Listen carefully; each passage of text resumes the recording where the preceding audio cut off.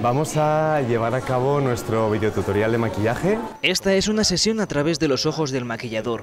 Con las Google Glass puestas retocan a las clientas que después se llevan a casa todo el proceso en vídeo. Mediante Google Glass les podemos ofrecer este videotutorial de una manera muy didáctica para que ellas en casa puedan conseguir el mismo efecto del maquillaje que nosotros realizamos aquí.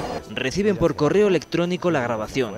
Peinarlo hacia el exterior, ¿vale? Para crear ese efecto de abanico. Esta es solo una de las aplicaciones de estas gafas inteligentes que cada vez tienen más funciones profesionales. Esta aplicación está diseñada para pilotos. Que permite proyectar en, digamos, en el ojo aquella información correspondiente a instrumentos de navegación básicos. Ander ha desarrollado cinco aplicaciones para estas gafas. Una de ellas está basada en la neurociencia. Permite luchar contra las fobias de cada persona. Mediante unos pequeños eh, juegos, iteraciones del usuario con las gafas va a poder superar pues, ciertos desafíos emocionales.